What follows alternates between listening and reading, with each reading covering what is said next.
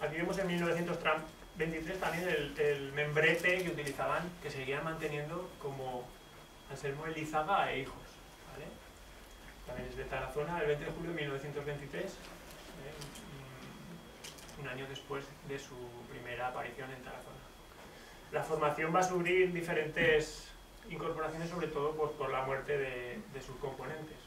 ¿eh? Van a utilizar, sobre todo, van a surtir, eh, se van a surtir de, pues, de familiares, luego de gente eh, de Calahorra, de, otras localidades, vivían de, vivían de esto, durante meses vivían de esto. Miguel Ángel Elizaga es zapatero y alpargatero y durante 6-7 meses se dedicaba a la dulzaina. Hubo años, cuenta también que de, de agosto pues tocaba 30 días.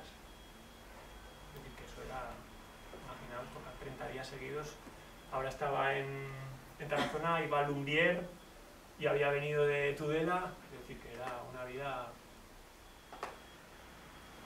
En el año 70 se hace cargo Miguel Ángel Elizaga y al morir su padre, pues como hiciera su padre, pues se van ocupando de sus hijos. Entonces ya aquí pasa a tocar la dulzaina Miguel Ángel. Miguel Ángel, su ilusión ha sido siempre tocar la dulzaina, pero era tamborilero. La dulzaina la toca la toca, porque aún sigue tocando y toca un poco peor que el tambor.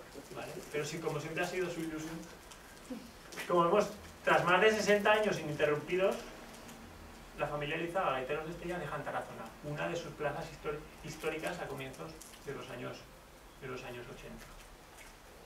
Dos años más tarde, eh, eh, pues me imagino que por, por decisión de, de Ángel Elizaga, pues propondría a estos gaiteros para que vinieran a Tarazona y estuvieron eh, tocando dos años, según me comentó Luis José.